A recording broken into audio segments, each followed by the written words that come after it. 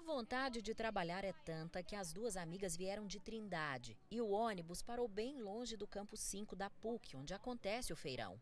A gente veio do da 87, lá do setor sul, de a pé, aí chega aqui, a senha já tinha acabado. A Mábia tem experiência como operadora de caixa e está só há uma semana parada. Quer conseguir outro emprego rápido, antes das contas vencerem. Pagar meu curso, minhas contas, ajudar minha mãe. E é isso, a melhor coisa é ter a independência da gente financeira.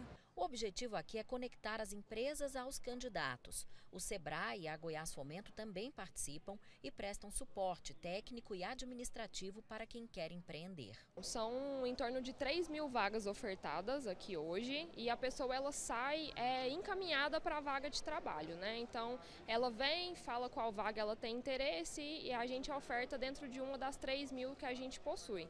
Então ela sai daqui com, com em torno de três cartas de encaminhamento para ela poder fazer a entrevista em uma das empresas que, que é parceira da Secretaria da Retomada.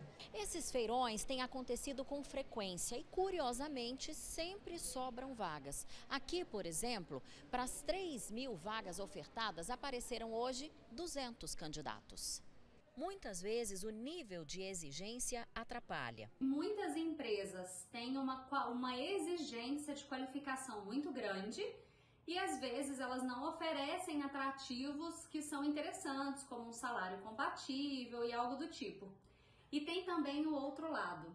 Muitas vezes os candidatos é, se cadastram para vagas de emprego sem lerem todos aqueles pré-requisitos e sem ter acesso a tudo que a empresa precisa para que eles tenham qualificação necessária para ficarem com a vaga. A Adial recruta talentos para a indústria e diz que mesmo quem não tem experiência deve vir como as indústrias são muito dinâmicas né, nos seus processos de produção e, consequentemente, nas vagas que elas ofertam, então hoje podemos não ter, mas amanhã ou semana que vem, com certeza, essas vagas vão, vão rodar, vão ser geradas. Né? Os currículos ficam lá Tendo as vagas, a gente faz o contato com o candidato, faz um processo é, de pré-seleção e já encaminha para pra, as indústrias de uma forma bem direcionada. Bom, as 100 as meninas conseguiram, foram encaminhadas para as vagas. Agora é cruzar os dedos. Tomara que dê certo. Tem várias vagas, agora é só torcer para ser chamada, né?